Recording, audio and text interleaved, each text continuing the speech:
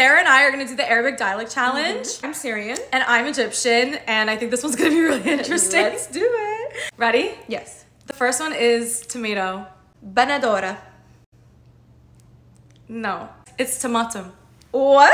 You said Tomato. tomato? You guys are friends. Wow. No, if you think about it, tomato, You friends. tomatum, it sounds Tomato, like- tomato. no, tomatum.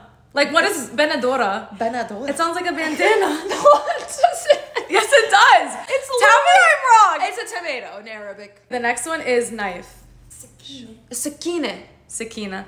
You say sakina. Mm-hmm. Okay. All right, at least we're agreeing on Heck one thing. Yeah, heck I yeah. told you I'm better at with You I'm are, you are. Sarah. Okay, okay, See, you are. more things. Sabby, her English, no, no, her English. Sabi. Her English is good. Her Arabic is actually really Her good. Arabic sucks, actually. I knew the word and you did it. Okay. The next one is shut up. Skitty. Sati buzik. No, that's Lebanese. Wait, what?